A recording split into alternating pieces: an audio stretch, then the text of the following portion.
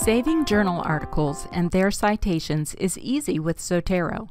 Zotero can save journal articles, books, and web articles.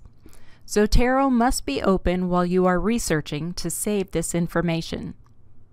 It is best to create a new folder for each paper or project you will be working on.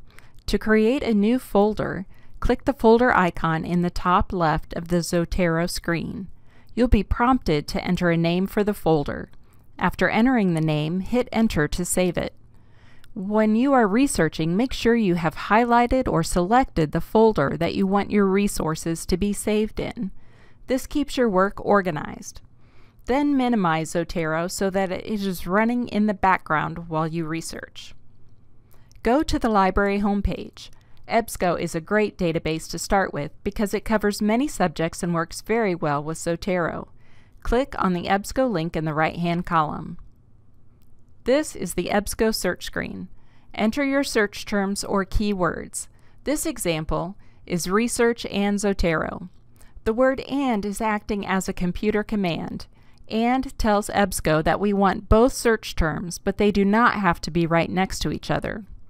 Also, scroll down and limit your results to full text and scholarly peer-reviewed journals by checking each box below the search terms.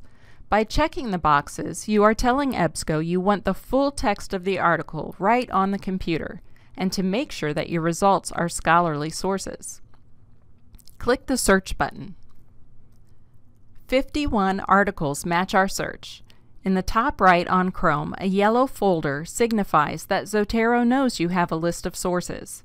You can select all and save the first 10 all at once. However, this usually just clutters up the Zotero folder with articles that we may not want. To keep things simple, click on the title of an article that looks interesting and relevant to your topic. Clicking on the title takes us to the citation screen. The citation screen has all the information Zotero will need to create citations in your paper.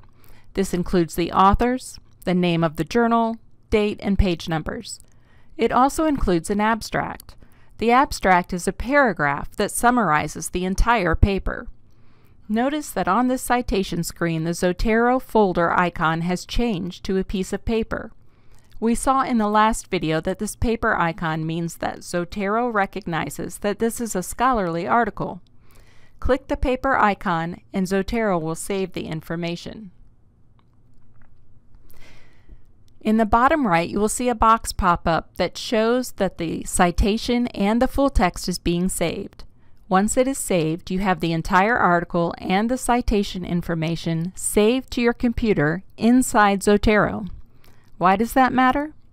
Whether or not you have internet access, if you are on an airplane, a bus ride to an athletic event, or if your internet connection goes down, you can still read the articles that Zotero has saved and you can highlight and make notes on the PDF document. That is how to save scholarly journal articles with Zotero and EBSCO.